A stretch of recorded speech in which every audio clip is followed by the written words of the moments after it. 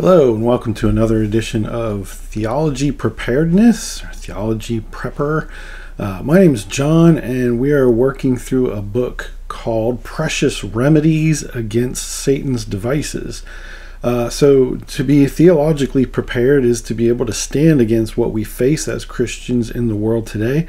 Those attacks being of Satan and of sin and temptation are what plague us. Uh, so, within this book by Puritan Thomas Brooks, uh, he gives us insight as to the attacks by which Satan comes at us.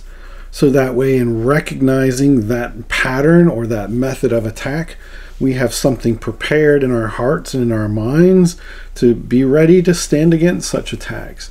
Um, today's attack that he mentions is that, well, sometimes it says by representing, this is chapter 8, by representing to the soul the outward mercies enjoyed by men walking in sin and their freedom from outward miseries.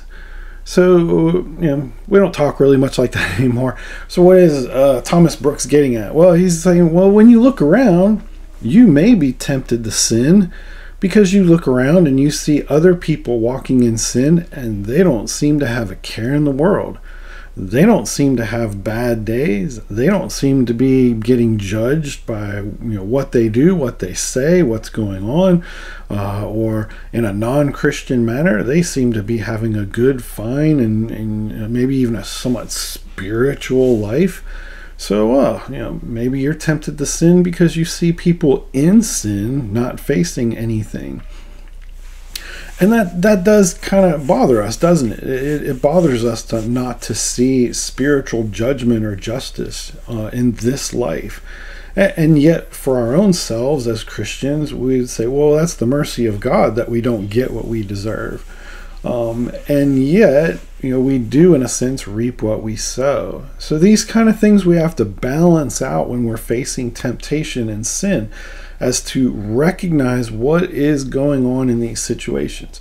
And Thomas Brooks gives us eight things to look at as we consider looking at sin in other people and maybe having a sense of temptation in ourselves to justify a sin or something because, well, other people don't seem to face anything, any repercussions for that.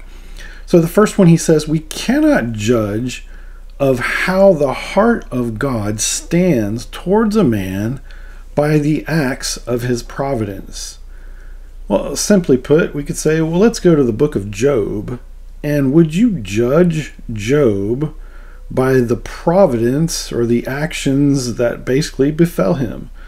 You know, no. And that's the lesson of Job, right? His friends get it wrong. They say, well, gosh, Job, you're going through so much hardship. You must have done something really bad because, you know, you don't punish a child when they do good. You only punish a child when they've done something wrong. So you must have done something really wrong if God is visiting you with all of this affliction. And the point of Job is exactly the opposite.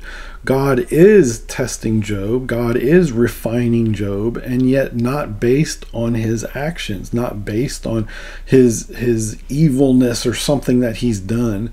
Um, but it's it's something between God and Satan going on and proving the righteousness of Job uh, that under all of this affliction, Job still stands fast in his sin. So, just the opposite. We shouldn't, by the mercies or the good fortune, you know, fortune, luck, stuff like that. Christian doesn't believe in those kinds of things, but the good providence that is visited upon someone, a non Christian, even someone non Christian in their sin, you know, we can't judge that, well, God is blessing them. It's like, no, not necessarily um, the the very riches that they're enjoying or the pain-free life that they're enjoying uh, is to their detriment. You know, in a sense, we would use the expression "giving someone enough rope to hang themselves." You know, they don't see the problem of their sin, and nothing in their life is challenging them against that. So they think everything's fine. That's judgment to be blessed to that extreme then. So those mercies are actually working against their heart. So we can't say of God that the, the blessings or the misfortunes of people are an act of God's heart towards them. Uh, two, Thomas Brooks tells us hey, nothing provokes God's wrath so much as men's abuse of his goodness and mercies. Uh, so we have to look at how the Bible sets up people as following God, not following God, and those who misuse and abuse the blessings God gives them. So let, let's, for sake of argument, we use the character of Pharaoh. You know, the Israelites under Pharaoh in Egypt right before the Exodus. Here's a guy blessed with riches, with a very powerful kingdom, probably the most powerful kingdom in the world of his day. So he would be the the top dog, the pinnacle of king of kings in his time. And Pharaoh is greatly humbled. Well, why? Because although he had so much blessings and mercies on him by God in, in what he had, misused it, didn't he? He, he used it to oppress God's people instead of bless them. So he faced basically all kinds of ridicule and the plagues and everything else, and losing uh, Israel. So, in a sense, losing their entire workforce. Uh, and it plunged Egypt into, modern day language, into a huge recession or depression, depending on how you want to look at it. And it was never the same since. Um, so, in that sense, we, we have to be careful that when you're considering a temptation or a sin, and you say, well, other people aren't getting judged with it. In fact, they seem to be getting away with it and enjoying themselves in it. Well, don't take that to mean God is blessing them to no end. God will take great offense to their misuse of his blessing them. Um, so, then point three says there is no greater curse or affliction in this life than not to be in misery or affliction. So that's counterintuitive to us, uh, especially Americans. We want to seek, you know, the the good life. Uh, we want to be at peace. We want to be comfortable. Uh, we want to enjoy life and all that it comes with. So to say it's a curse to not have some sense of misery or affliction. Uh, again, that goes against the grain. You know, you, you almost feel that as like, I don't really want misery and affliction, though. And, and of course, we don't want it. We don't seek it out. But yet, as a Christian, you naturally have a sense of misery and affliction by just being in a world full of sin. It doesn't feel like your natural habitat, doesn't feel like you're naturally belonging or fitting in in this world because we don't, because it's cursed, because it's full of sin. Uh, and so to be comfortable in a world of sin and misery, to, in a sense, not seeing the sin and misery that's there, well, yeah, that would, in a sense, be its own curse. You don't see the things that are around you as a problem Therefore, you have no problem. Christians see the world around them and the problem it has. Therefore, they are always afflicted by the misery of that problem. Um, so, again, another thing to watch for when you see or are faced with temptation about what's going on in the world around you and you think everybody else has it easy. For, Thomas Brooks points out, the wants of evil men are far greater than their outward blessings.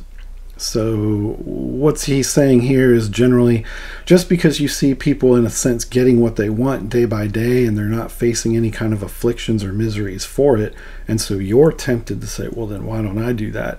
Hey, consider that those same people, that as soon as they get what they want day by day, are not satisfied by what they have their desires and their evil ways or whatever are going to keep sinking lower and lower and lower because they are not going to be satisfied with the things of this world. They, they can't be.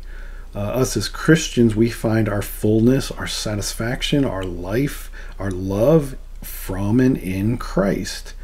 And that does fill us up. To where, as the psalm says, or the hymn says, uh, the things of this world grow strangely dim. Um, to them, this world is the highlight of everything that there is. It's what they live for. And as they get pieces of it, they can only want more because it's not going to satisfy. So don't let that basically get a, a, foothold in your life, thinking that, well, if I just go ahead and give in to this sin, not only are others enjoying it and not getting away with it, well, there's no consequence to that. No, it's not going to fulfill you in any way, shape, or form either. You're going after uh, what the scripture would say a waterless well or a cloud with no rain. It's going to be empty. Five, uh, Thomas Brooks says, The outward things are not as they seem, nor as they are esteemed. That's kind of what we were saying in four. Uh, what they go after is empty. Um, so five is going after what they want, or four rather was saying what they want is always going to keep growing and growing. Well, that's because in number five, those things are empty. Uh, so number six, then God has ends and designs in giving even evil men outward mercies and present rest from sorrows and sufferings that causes saints to sigh. So we can't get beyond what God is doing in someone's heart, mind, world, life, life view, all that kind of stuff.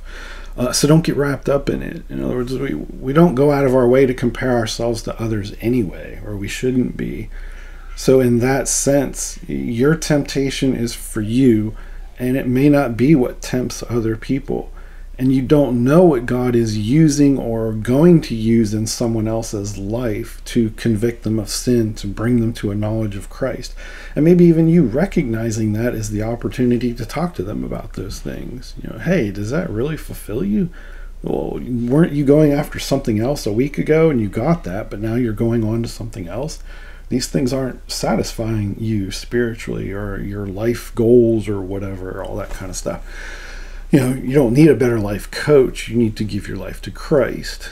Um, so those are the kinds of things we, we have to be careful about judging by outward view what we think we see is going on in someone's life and how god may be using that. Um, you know, we know how god worked in our lives and in my life but that's not going to be the experience of everybody else so we have to allow god to work as he works um, so that's uh, point six. Well, point seven, then, Thomas Brooks tells us that, hey, when you're facing this kind of sin or temptation, God often plagues and punishes those whom others think he most spares and loves.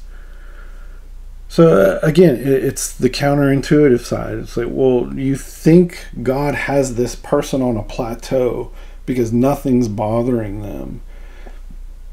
And yet, that may be that God is going to use that to plague and punish them more severely than others because now they have more to lose. You know, again, back to our Pharaoh example. What made his punishment echo throughout the rest of the world when, when, when Israel leaves Egypt and they're about to go into the promised land?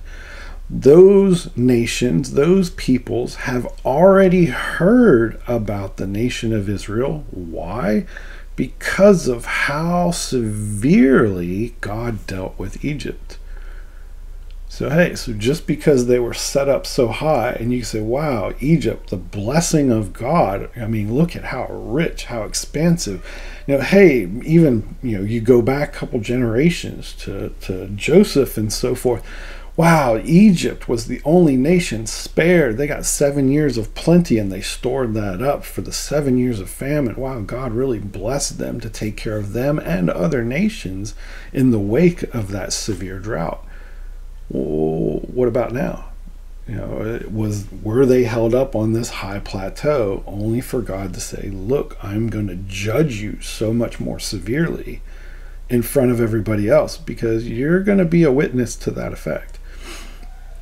So we have to be careful that as you go after a sin or a temptation and you think, I'm going to get away with it because everybody else is, you may be setting yourself up for quite the judgment depending on what it is God says that you stand to lose. or what in your sanctification benefits you by getting pulled out of your life as a result of maybe that sin. So, so think long term. You know, count the costs is what Scripture counsels us to do. You know, what are you risking in giving into some sin or temptation? And the last point he has for us uh, point eight God will call evil men to a strict account for all the outward good that they have enjoyed. So, everything that they've been blessed with that they've misused will have to give an account for uh, before the throne of judgment at the end. Uh, their day will come. And just like the, the parable of the talents and other parables of Jesus in the New Testament, you know, uh, uh the householder, the, the homeowner, the, the the owner of the house or the field or whatever, he goes away and he puts people in charge of things. There's a day of accounting when he comes back and holds them accountable and says, What have you done with what I've entrusted you with? And all they've done is done things for their own use, for their own good, or even the, at worst, uh, used and taken what they had uh, to use those things against others. They're going to have to pay the price for that one day. So don't get caught having to pay the price for your sins. Rest them upon Jesus. Look away from sin and temptation and stand fast, as Thomas Brooks is counseling us to do when we face these things. That's it for this week, for this lesson. Uh, if you like what we're doing here, what I'm doing here, we, somebody right now, just me. Uh, like, subscribe, share, all that fun stuff. It helps the channel grow, as people say, and uh, we'll see where all this goes. God bless. Take care. We'll see you next time.